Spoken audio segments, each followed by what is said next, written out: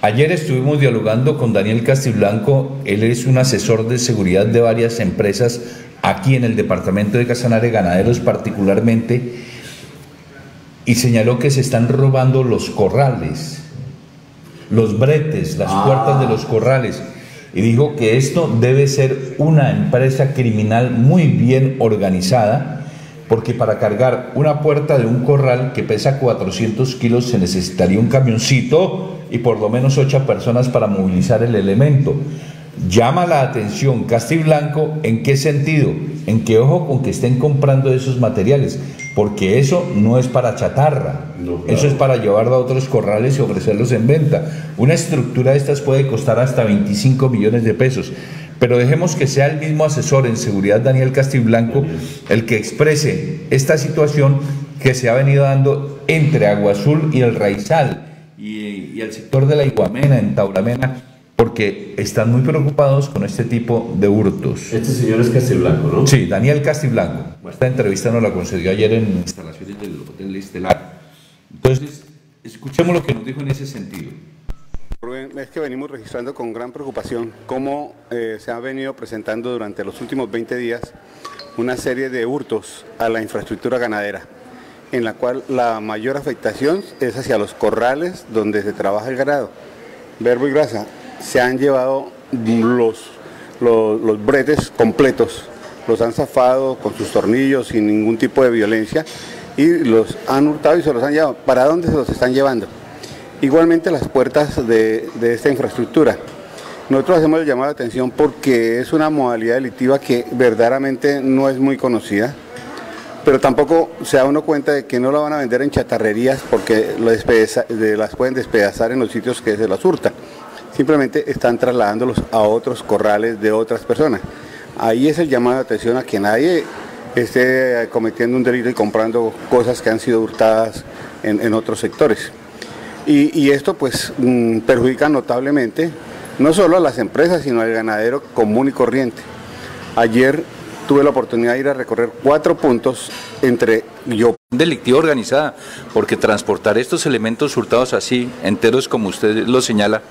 Bueno, sí, un, brete puede estar alrededor de 400 kilos de peso. Eso no nos levantan ni dos, ni cuatro, ni seis personas de mediano tamaño. Por lo menos tienen que ser ocho personas que puedan alzarlo y trasladarlo sobre eh, los camiones que llevan para poder transportarlo y los, y equipos en que transportas tiene que ser un camión pequeño, una NPR que llamamos y conocemos comúnmente, ni siquiera un motocarro por el peso. Es muy pesado, es demasiado pesado. Entonces, eh, no es que sea tampoco intangible, por el contrario, es muy visible una situación de estas. Don Daniel, ¿esto ha generado también riesgo para los ganaderos, de hurto de ganado y eso? Pues la verdad yo no manejo el tema de estadística ahorita aquí porque nosotros en lo que tengo la oportunidad de, asesorar no ha habido en estos momentos, eh, hurto de ganado, vigueato que llaman comúnmente, en épocas anteriores sí, pero no, simplemente es hurto de infraestructura. Pero repito, es el daño que se le causa a un ganadero que ha hecho mucho esfuerzo para comprar un brete, para comprar unas puertas, para, poder trabajar su ganado y, organizarlo, y que lo dejen sin puertas, y que lo dejen sin brete para poder pesarlo. ¿Qué costo puede tener un brete de estos y una puerta de estas? ¿Cuántas son las pérdidas económicas? pues las pérdidas económicas con puertas, dependiendo del corral, para el caso nuestro fue alrededor de 32 millones de pesos la afectación. En otros puede ser un poco menos, porque son corrales más pequeños, menos puertas, son un prototipo de brete menos sofisticado, puede ser eso. Y el problema complementario porque se llevan la puerta y por ahí mismo se pueden meter los otros delincuentes. Pues todo puede ocurrir ahí, de tal manera que nosotros hacemos un llamado de atención para que eh, sobre las vías se controle y que cuando vayan a mover esto exijan los documentos de transporte. Eso no es solo chatarra que están llevando ni nada, un brete es para algún uso industrial. De tal manera que, pues, esperamos contar con un buen control a este aspecto. Con base a la anuncia que usted hace, esto viene sucediendo en la vía desde Unete hacia Tauramena y al Reizal y este sector.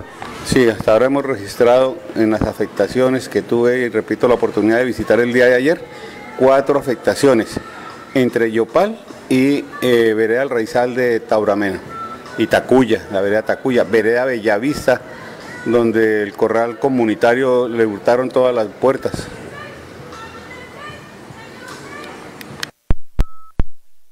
Hasta la, de la perra se, Oiga, se sí. sellaron el corral comunitario y todas estas estructuras metálicas.